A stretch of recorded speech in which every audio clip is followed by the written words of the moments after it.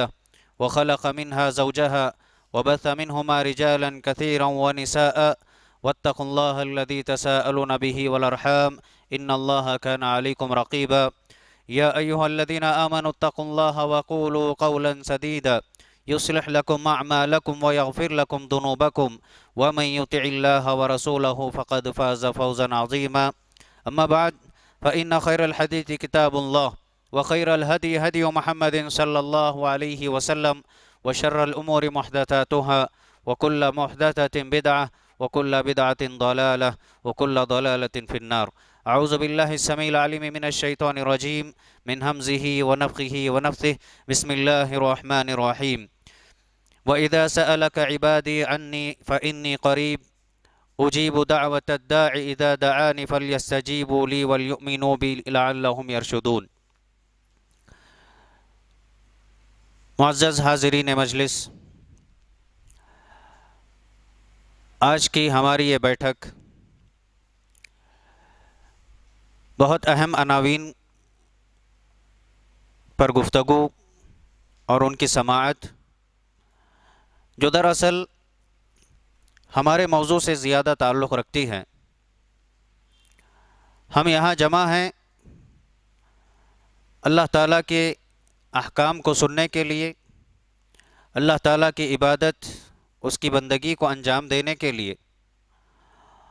और वो मजलिसें, जहाँ अल्लाह का ज़िक्र हो, रसूल अकरम सल्लल्लाहु अलैहि वसल्लम की तालीमात का ज़िक्र हो, जहाँ बैठकर इंसान बिलखसूस एक मुसलमान अपने ईमान में इजाफ़ा महसूस करता हो, ये वो चीज़ें हैं जो बंदे को अल्लाह ताला के करीब करते हैं। हमारा मौजू तकर्रब इलाही के इसबाब हैं। सबसे पहले हम ये जानते हैं कि तकरब का माना और मफहम क्या है। इसकी अकसाम अहल इल्म ने बयान की। और इसके अलावा इसबाब क्या हो सकते हैं कि जिनको अपना कर एक बंदा अपने रब से करीब हो सकता है। जैसा कि मैंने कहा कि आज इस प्रोग्राम के लिए आपने जो पहला कदम बढ़ाया है और यहाँ बैठने की आपने नीयत की, ये दरअसल अल्लाह ताला से करीब होने की आपकी नीयत है। क्योंकि यहाँ आपने अल्लाह ताला की बातों को सुनने की तड़प का इजहार किया और आज इस मजलिस में बैठे हैं, सुन रहे हैं। अल्लाह रब्बुल इज़्ज़त ने अपने प्यारे नबी मोहम्मद सल्लल्लाहु अलैहि वसल्लम से कहा, कि नबी सल्लल्लाहु अलैहि वसल्लम, अगर बंदे मेरे मुतालिक पूछें मेरे ताल्लुक़ से सवाल करें तो आप कह दीजिए कि मैं उनके बिल्कुल करीब हूँ। जो मुझसे दुआ करेगा, मैं उसकी दुआओं को सुनूँगा। अब बंदों को चाहिए कि मेरे बताए गए अहकाम के मुताबिक अमल करें, मुझ पर ईमान ले आएँ, इसी में उनकी नजात है, इसी में वो कामयाब होंगे। ख़ुद अल्लाह के नबी सलाम के ज़रिए अल्लाह रब्बुल इज़्ज़त ने खबर दी कि अल्लाह ताला को यहाँ वहाँ ढूँढने वालों परेशान होने वालों, अल्लाह ताला तुमसे बड़ा करीब है। अल्लाह ताला तुम्हारे शहर से करीब है। तुम्हारे हालात को, तुम्हारी गुफ्तगु को, तुम्हारे ख्यालात को, तुम्हारे दिलों में उठने वाले वसवसों को और तुम्हारे दिलों में आने वाले ख्यालात को सबको अल्लाह ताला जानता है। अल्लाह ताला तुमसे इतना करीब है। शर्त यह है कि तुम भी उसके करीब होने की कोशिश करो। मोज़ हाजरीन, तकर्रब, ये एक ऐसा कलिमा है कि जिसे हम आसानी से समझ सकते हैं कि हम किसी भी चीज़ से करीब होना चाहते हैं या किसी चीज़ को अपने पास रखना चाहते हैं, ये तकर्रब के माने में आता है। दुनियावी एतबार से अगर आप देखें तो इसको हम इस इसकी अहमियत को समझ सकते हैं। किसी शख्स पर किसी बड़े आदमी का हाथ हो, जो असर और रसूख वाला हो, जिसका नाम हो, जिसका रोब और दबदबा माशरे में हो, और उससे किसी का ताल्लुक़ बन जाए तो वो बिल्कुल इत्मीनान की ज़िंदगी गुजारता है और बड़े फ़ख्र से ज़िंदगी गुजारता है और उसे ये एहसास होता है कि वो अपने आप में ताकत महसूस कर रहा है। इसलिए कि उसके साथ एक ऐसा शख्स है कि जिसका माशरे में रोब दबदबा है, जिसकी बात चलती है। अब एक मुसलमान को ये सोचना है कि हम जिस पर बात कर रहे हैं तकर्रब इलाही अल्लाह का तकर्रब, जो बादशाहों का बादशाह है जो मालिकुल मुल्क है, जो खालिक हकीकी मबूद बरहक है इस कायनात में हर चीज़ उसी के हुक्म से होती है। उसका तकर्रब अगर किसी बंदे को मिल जाए तो फिर इंसान के लिए इससे बढ़कर के शरफ़ और सआदत की बात और क्या हो सकती है? कि जिसे अल्लाह ताला का तकर्रब मिल जाए। तो आइए जानते हैं कि तकर्रब में अहल इल्म ने जो अकसाम की हैं, दो किस्में हैं। पहली किस्म है तकर्रब आम। यानी ये जो तमाम मुसलमान हैं, मोमिन बंदे हैं अल्लाह ताला के, अल्लाह ताला उनके शहरक से करीब होता है। उनकी बातों को, उनके ख़यालात को, उनके आमाल को अल्लाह ताला जानता है। उनके शब रोज़ में जो कुछ आमाल वो अंजाम देते हैं, वो सबसे अल्लाह ताला बाखबर हैं, ये तकर्रब आम हैं। और एक है तकर्रब ख़ास, जो अल्लाह ताला के मोमिन बंदों में से बतौर ख़ास उन लोगों को हासिल होता है, जो अल्लाह ताला के मुत्तकी बंदे हैं। जो हर वक्त में, चाहे वो तन्हा हो या लोगों के दरमियान हो, हर वक्त अल्लाह से डरने वाले हों। हमेशा उनको अल्लाह ताला के अहकाम मुकदम रखना पसंद हो। वो कभी भी दुनिया के पीछे नहीं पड़ते हैं। उन्हें कभी किसी को नाराज़ करना पड़े, नाराज़ करेंगे, लेकिन अल्लाह को राज़ी करने की फ़िक्र उन्हें हमेशा होती है। जो अल्लाह के नेक मुत्तकी बंदे, जिनमें अम्बिया और रसुल हैं, सर फहरिस्त अम्बिया और रसुल हैं, उनके बाद सहाबा ताबईन हैं उनके बाद अइमा मुफसरीन मुहदसिन नेक इनके रास्ते पर चलने वाले जितने लोग हैं, वो सब के सब इसमें आते हैं। और ये तकरब ख़ास, इसका माना ये हो सकता है कि इसमें अल्लाह रबुल्ज़त की मदद शामिल हाल होती है। अल्लाह ताला की नुसरत, अल्लाह ताला की ख़ास तौफ़ी परेशानियों में जहाँ इंसान घिर जाता है, आप देखते होंगे कि अल्लाह ताला के वो नेक बंदे जो हमेशा अल्लाह ताला की इबादत में मशगूल होते हैं, उन पर चाहे मसाइब और मुश्किल कितने ही ज़्यादा क्यों ना आए लेकिन उनके चेहरे पर वो तसल्ली और सुकून उनको नज़र आता है। वजह क्या है? ये अल्लाह ताला का तकर्रब होता है। ये अल्लाह ताला की मदद होती है। ये अल्लाह ताला की तौफीक होती है कि जिसके सबब वो अपने दिलों में इतमान और सुकून महसूस कर रहे होते हैं, क्योंकि हालात चाहे मेरे साथ कैसे भी आ जाएँ, मेरे साथ मेरा रब है। मेरे साथ मेरे रब की मदद शामिल हाल है। चाहे मुझे लोग मार दें, काट दें, जला दें, अल्लाह रब्बुल अल्लाह के नबी सल्लल्लाहु अलैहि वसल्लम ने ही कहा, इत्तक़िल्लाह हैतुमा कुंत अल्लाह से डरो जहाँ तुम रहो। ये अल्लाह के नेक और ख़ास बंदे हैं, जिनको अल्लाह ताला का ख़ास तकर्रब हासिल होता है।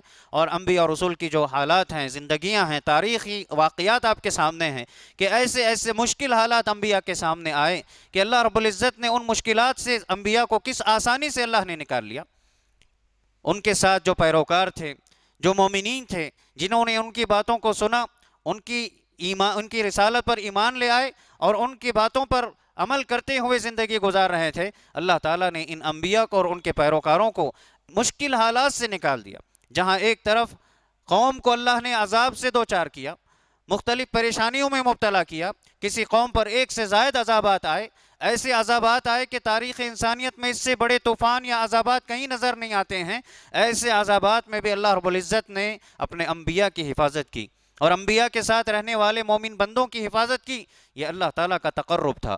ये अल्लाह ताला की ख़ास महब्बत उन लोगों से थी। ये अल्लाह ताला की मदद थी। ये तौफ़ी थी जो अल्लाह रब्ज़त ने उनको अता की। और इसीलिए अल्लाह के नबी सलाम और अबू बकर सिद्दीक़ रज़ी अल्लाह जब गार हिरा में हिजरत के मौके पर निकले थे और आपकी तलाश, आप दोनों की तलाश में काफिरों ने इनामात के ऐलानात करा दिए कि इनको जो पकड़ कर लाए, उनको सौ ऊँटें इनाम में दी जाएँगी। ऐसे वक्त में हर कोई इनकी तलाश में निकल पड़ा है। गार हिरा पर लोग पहुँचे। अबू बकर सिद्दीक़ रज़ी अल्लाह ने उस वक्त का आलम बताते हुए अल्लाह के नबी सलाम से कहा है अल्लाह के नबी सलाम अगर ये काफिर अपने पैरों तले देख लें तो हम उन्हें नज़र आ जाएँगे। हम उनकी पकड़ में आ जाएँगे। उस वक्त भी, ऐसे मुश्किल हालात में भी, गौर करें अल्लाह के नबी सलाम ने अबू बकर सिद्दीक़ रज़ी अल्लाह को क्या कहा था? कहा, ला तहज़न इन अल्लाह माना। डरो मत। घबराने की बात नहीं है। बेशक अल्लाह ताला हमारे साथ। ये अल्लाह की माइत ये अल्लाह का तकर्रब होता है, जो बंदों को तसली अता करता है इतमान अता करता है। चाहे हालात मौत सर पर खड़ी क्यों ना हो मुश्किल मुश्किल हालात क्यों ना हो? एक बंदे को इत्मीनान ये होता है कि मेरा रब मेरे करीब है। मैं मेरे रब के करीब हूँ। मेरे रब की मदद मेरे शामिल हाल हैं। इसीलिए अल्लाह के नबी सलाम ने अबू बकर सिद्दीक़ रज़ी अल्लाह को यही बात बता करके तसली दी कि अल्लाह ताला जब हमारे साथ है तो किसी से हमें डरने की बात नहीं, अल्लाह ताला से हम करीब हैं। और इस तरीके से अल्लाह रब्बुल ने भी हदीस कुदसी हैं। हदीस कुदसी वो हदीस जिसमें अल्लाह के नबी सलाम अल्लाह ताला से बयान करें। अमूमन हदीस होती हैं, जिसमें राविया हदीस सहाबी अल्लाह के नबी सलाम से बयान करें। लेकिन हदीस कुदसी वो हैं, जिसमें अल्फाज अल्लाह के नबी सलाम के होते हैं, माना और मतालब उसमें अल्लाह रब्ज़त के होते हैं और अल्लाह के नबी सलाम अल्लाह ताला से रिवायत करते हैं। अल्लाह रब्ज़त ने फरमाया कि जो बंदा मुझसे करीब होना चाहता है, उसके वसाइल क्या हो सकते हैं और बंदा मुझसे करीब कब हो सकता है? अल्लाह ने फरमाया, अना इंदनी अब्दी बी। बंदा मेरे मुतालिक जैसा गुमान करता है, मेरे मुतालिक उसके जैसे ख्यालात होते हैं, मैं उससे वैसे ही पेश आता हूँ। वह अनमा इदा करनी वो जब मुझे याद करता है, मैं उसके साथ होता हूँ। अल्लाह अकबर। अल्लाह ने कहा कि जब बंदा मुझे याद करता है, मैं उस बंदे के साथ होता हूँ। फ़िन दकरनी फ़ी नफसी ज़कर तो हो फ़ी नफसी। सुबहान अल्लाह अल्लाह ने फरमाया कि अगर बंदा मुझे अपने दिल में याद करता है तो मैं भी अपने दिल में अपने बंदे को याद करता हूँ सुबहान अल्लाह इससे बढ़कर के शहादत और क्या हो सकती है? इससे बढ़कर के तकर्रब और क्या हो सकता है? कि अल्लाह रब्बुल ने खुद फरमा दिया कि बंदा अगर अपने दिल में मुझे याद करे, मैं अपने दिल में उस बंदे को याद करता हूँ। खुलो से दिल से सिद्क दिल से जो बंदा अल्लाह ताला को याद कर ले, अल्लाह ताला उस बंदे को याद करते हैं। फिर अल्लाह ने फरमाया व इन दकरनी फ़ी मल इन दकर तो हो फ़ी मल इन खैर कि अगर बंदा मुझे किसी मजलिस में याद कर ले, लोगों के साथ बैठ कर के मेरा ज़िक्र करे मेरे अहकाम सुनाए तो ऐसे बंदे का ज़िक्र मैं उनसे बेहतर मजलिस में करता हूँ। यानी अल्लाह ताला के फरिश्तों की मजलिस में अल्लाह रब्ज़त उस बंदे का नाम लेते हैं। उस बंदे को याद करते हैं, ये फजीलत है।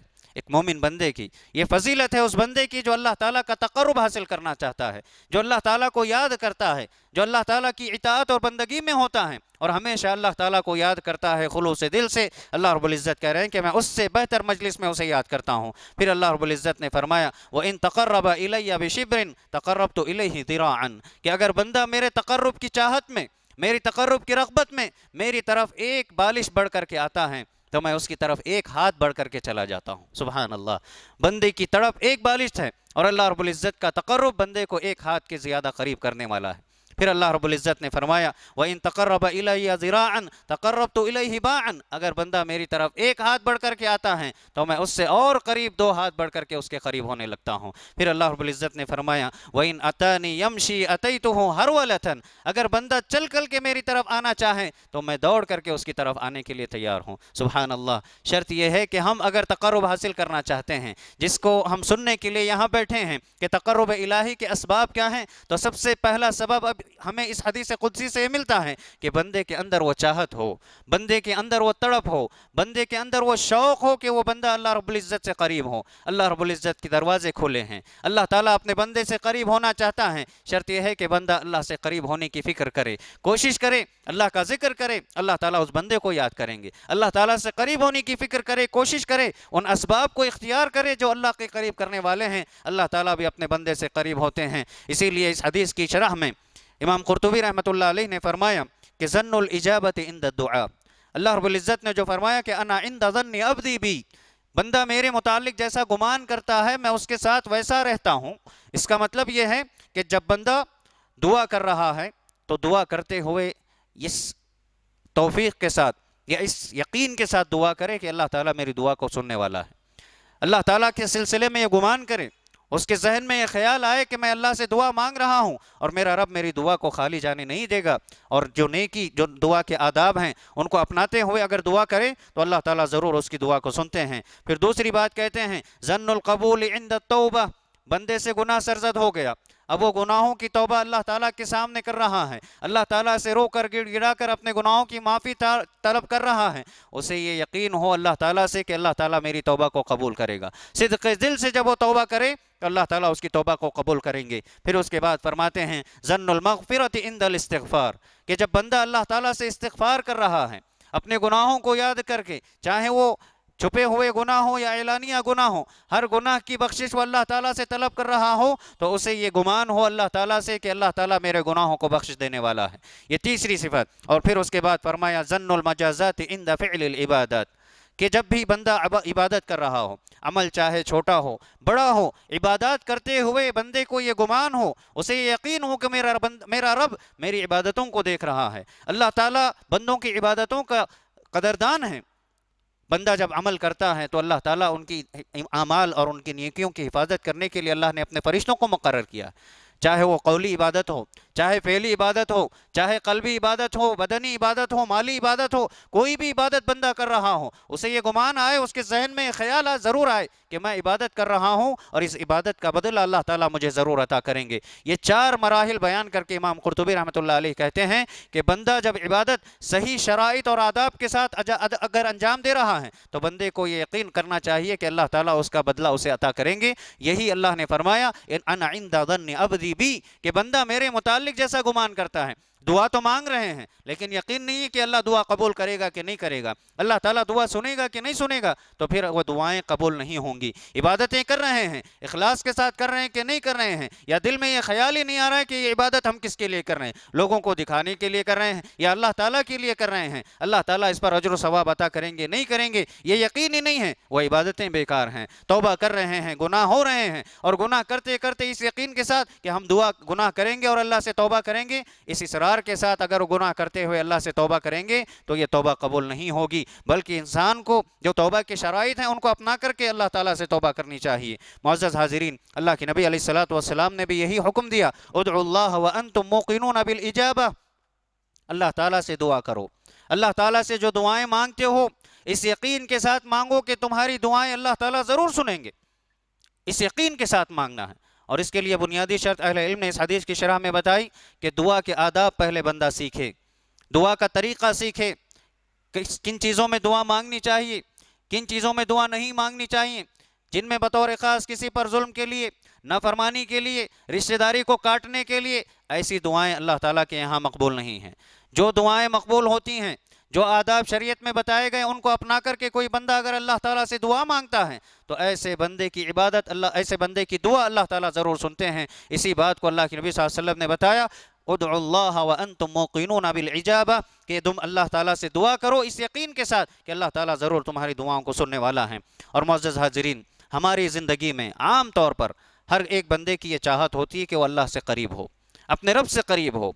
अपने रब का तकरब उसे मिले। वो भी चाहता है कि मुश्किल हालात में अल्लाह ताला की मदद उसके शामिल हाल हो। उसे वो तौफीक मिले कि मुश्किल हालात में भी वो कैसे आसानी से निकल सके। चाहे कितने टेंशन हो, चाहे कितने गम हो, चाहे कितनी भी मर्ज में मुबतला हो, बंदा ये चाहे, ज़रूर चाहता है कि उसका रब उसे आसानी मुहैया करे, आसानी अता करे। ऐसी सूरत में हमारी आम ज़िंदगी में एक एक आम कायदा अहल ने बयान किया कि अगर अल्लाह का तकरब चाहते हैं तो इस तरीक़े को, इस कायदे को अपनी ज़िंदगी में अगर बंदा अपनाना शुरू कर दे तो अल्लाह ताला का तकरब और साथ ही साथ अल्लाह ताला की मोहब्बत बंदे को हासिल हो जाएगी। वो कोई मुश्किल काम नहीं है। अल्लाह रबुल्ज़त ने फरमाया, कुल इन कुन तुम तो हिब्बून अल्लाह फ़त्तबिऊनी युहब्बिबकुम अल्लाह कुल इन कुन तुम तो हिब्बून अल्लाह युहब्बिबकुम अल्लाह के नबी अलैहिस्सलातु वस्सलाम के ज़रिए से अल्लाह ताला ने ऐलान करवा दिया कि बताओ कि अगर तुम चाहते हो कि अल्लाह ताला तुमसे मोहब्बत करने लग जाए तो तुम्हें चाहिए कि मेरी पैरवी करो मेरी इत्तबा करो यानी रसूल अकरम सल्लल्लाहु अलैहि वसल्लम की सुन्नत का इत्तबा करना आप सलाम की सुन्नतों की पैरवी आपके बताए हुए तरीके के मुताबिक ज़िंदगी गुजारना चाहे वो छोटी सुन्नत हो बड़ी सुन्नत हो ज़िंदगी के हालात में सुबह शाम जो भी ज़िंदगी गुजार रहा है और जो अमाल इंसान कर रहा है, हर वक्त में अल्लाह के नबी सलाम की पैरवी, आपकी सुन्नत को अपनाने की फ़िक्र अगर किसी बंदे के अंदर आ जाए, तड़प अगर आ जाए तो ये ज़िंदगी का सबसे पहला जीना है यह सबसे पहली सीढ़ी है अल्लाह ताला के करीब होने की। साहबा कराम का आप मामूल देखें, इंतज़ार में होते थे कि अल्लाह के नबी सलाम क्या हुक्म देंगे। इंतज़ार में होते कि अब नया हुक्म क्या होगा? नई सुन्नत हमें क्या सीखने मिलेगी? आप सलाम के फरमोदात, आपकी तालीमत को अपने सीनों में महफूज रखकर वह अपनी ज़िंदगी में उस पर अमल करते रहते।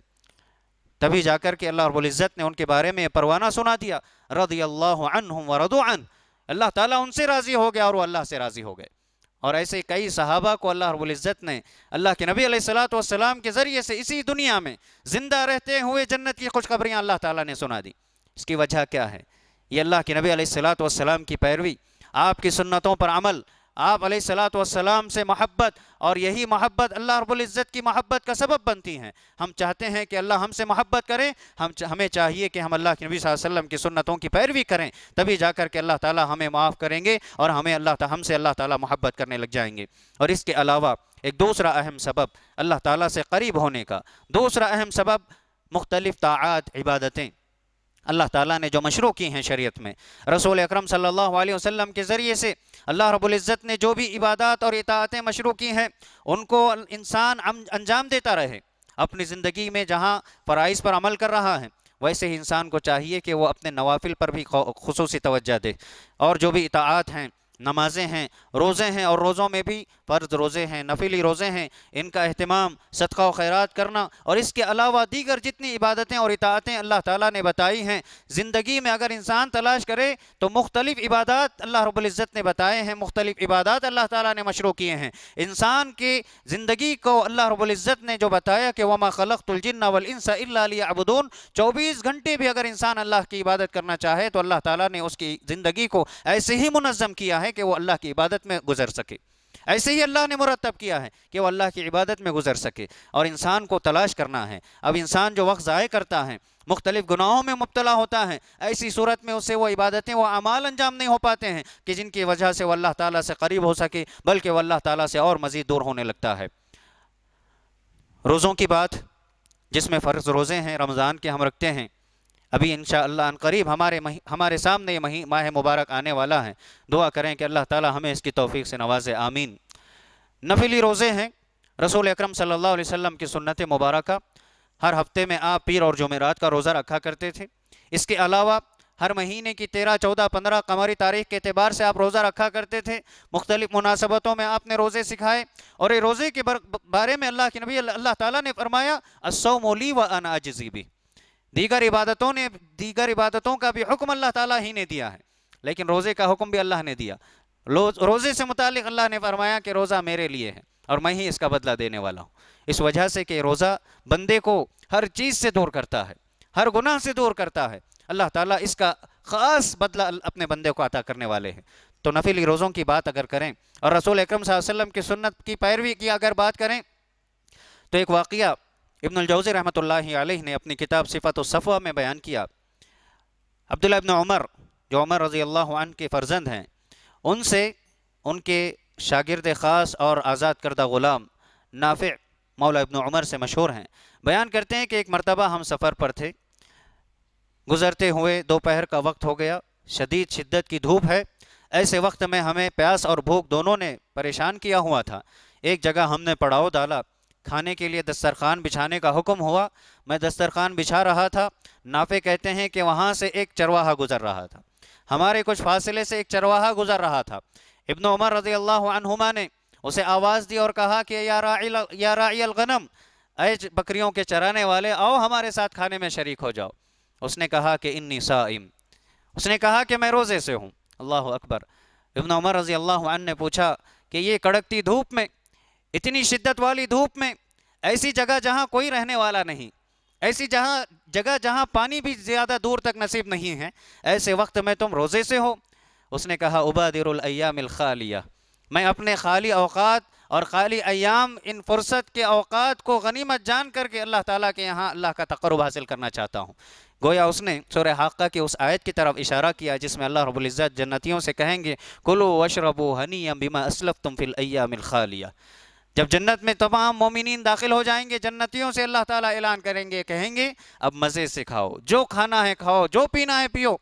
इसलिए कि तुमने जो अपनी ज़िंदगी में खाली अवकात और फारिग अवकात में अल्लाह की इबादत जो फ़राइज़ थे, उनको भी तुमने अंजाम दिया। जो नफिली रोज़े इबादतें जितनी थी, उनको भी तुमने अंजाम दिया। इसके नतीजे में आज तुम्हें जन्नत में तुम्हारे मज़े से जो तुम चाहो खाओ, पियो। आज तुम्हारे लिए कोई रोक टोक नहीं है। उस आयत की तरफ़ इशारा करते हुए उस राईगनम ने, बकरियों के चरवाहे ने, एक बद्दो किस्म के आदमी ने कहा उबादिरयाम खालिया। मैं इन खाली अयाम में अल्लाह ताला की तक, अल्लाह ताला का कुर्बत हासिल करना चाहता हूँ।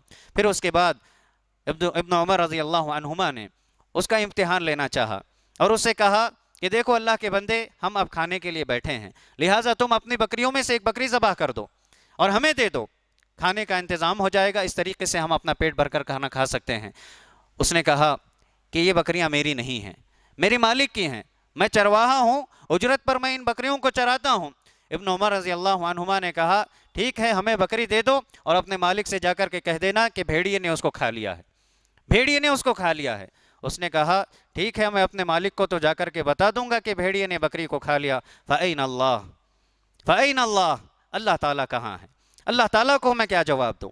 सुबहान अल्लाह ये खाली अवकात में भी अल्लाह के नबी सलाम की सुन्नत पर अमल करते हुए अल्लाह ताला का खौफ, अल्लाह ताला का डर अपने दिल में अगर बंदा रखे, जैसा कि मैंने कहा कि तकवा ऊपर परहेजगारी अल्लाह ताला से बिल्कुल करीब करने वाली चीज़ है। उसने उस बयाबान में ऐसी जगह पर जहाँ कोई नहीं देखने वाला है। चाहता तो उजरत ले लेता, चाहता तो पैसे ले लेता और बकरी ज़बा करके देना था, इतना आसान काम था। और जा करके अपने मालिक को खबर करना था कि उसका तो फ़ायदा हासिल हो गया और बकरी को किसी जानवर ने खा लिया है, भेड़िए ने खा लिया है। लेकिन दिल का जो, दिल की जो पाकिजगी है, इबादत और इतात इसकी वजह से इंसान का जो तजकिया होता है, अल्लाह ताला का डर जो दिल में पैदा होता है, इस वजह से उसने कहा फ़ैन अल्लाह नाफे कहते हैं कि जब तक इब्न उमर रज़ी मदीना नहीं लौट गए बार बार ये दोहरा रहे थे, काल रागनम ऐन अल्लाह?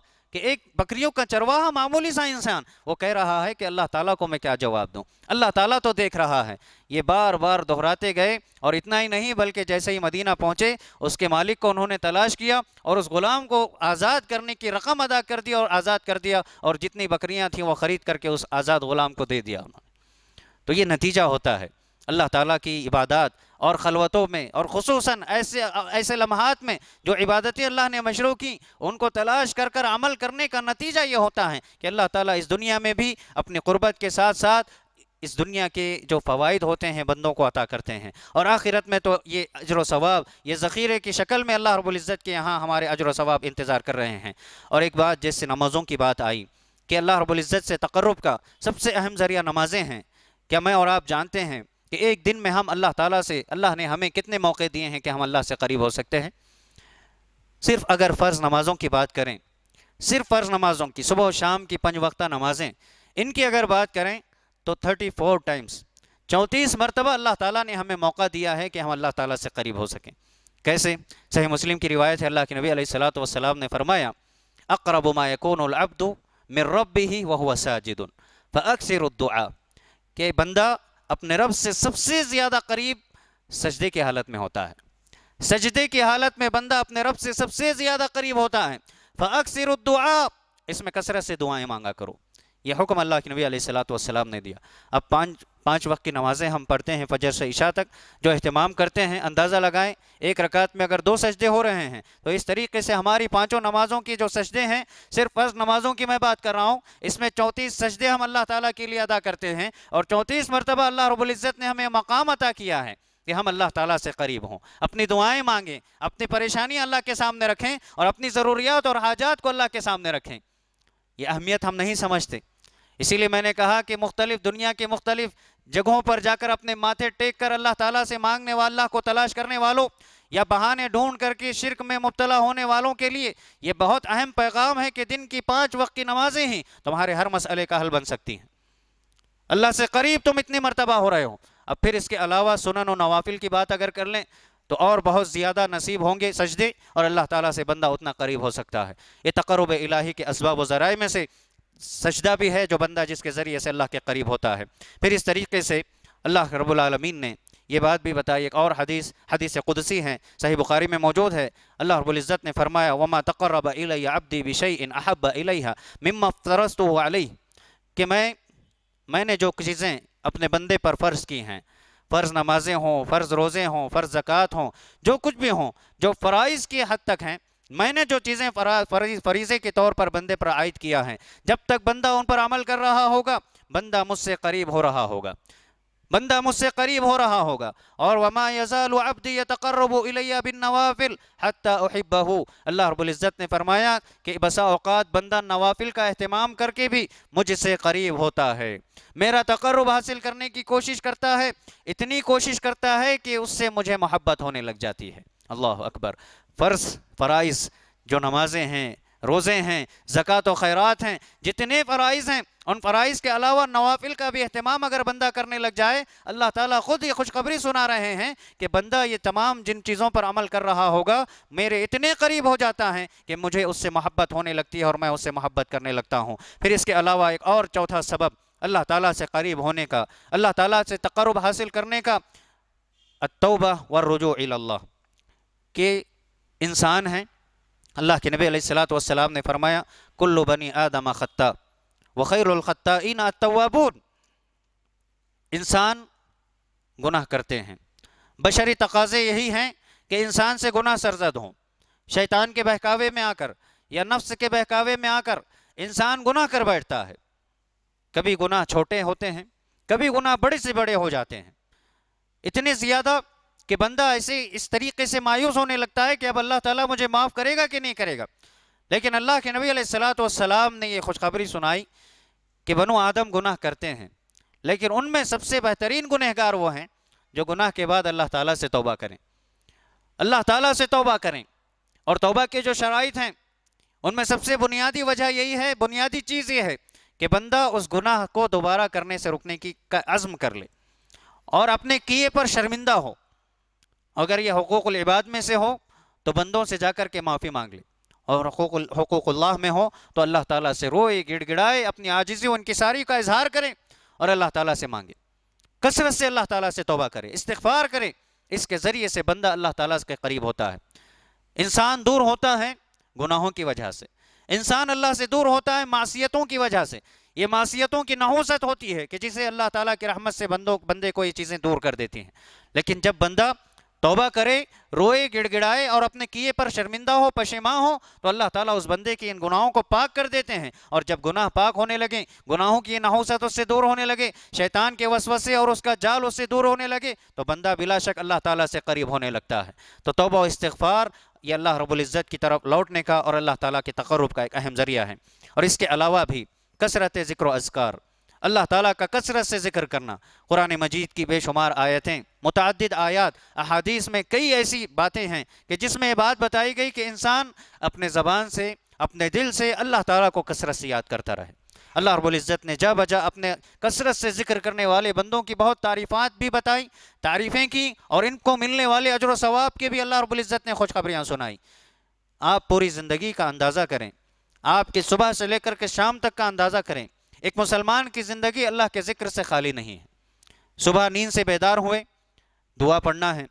आप वज़ू कर रहे हैं, दुआ का तरीका बताया गया, दुआ सिखाई गई वज़ू के, वज़ू से फारिग हो गए। आपको दुआ सिखाई गई।